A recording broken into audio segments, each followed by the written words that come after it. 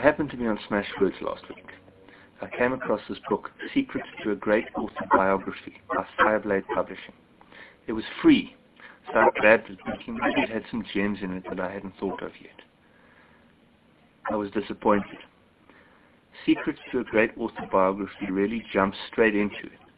There's no introduction to what you're about to learn or why it's important. It's an information dump. This is what you need to do. Period.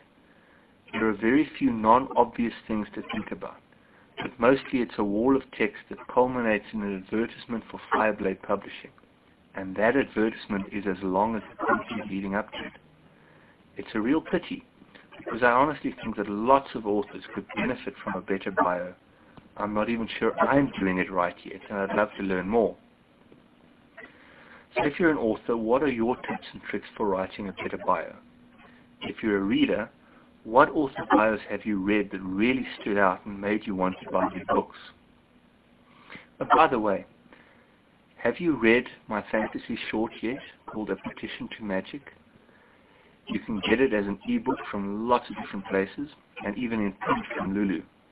Go check out grahamdowns.blogspot.com, my blog, to find out all the places you can buy it from. Thanks for listening.